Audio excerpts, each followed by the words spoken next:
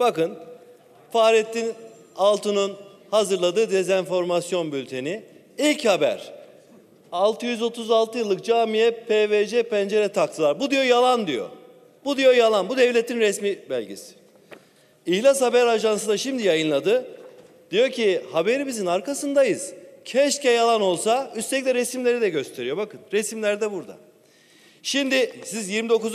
maddeyi geçirdiniz ya. Hapı yuttu birisi. Ya İhlas Haber Ajansı'nın muhabiri hapse girecek ya da Fahrettin Altun. Hangisi? Şimdi bir, bir palavranız var. Mahkeme karar verecek. Ya arkadaşlar bahse konum bah, mahkeme Asya Ceza Mahkemesi. Asya Ceza Mahkemesi gerçeği araştırmaz ki. Ne böyle bir yetkisi var, ne böyle bir görevi var, ne de böyle bir kabiliyeti var. Ya saçma sapan bir yasa tasarısı.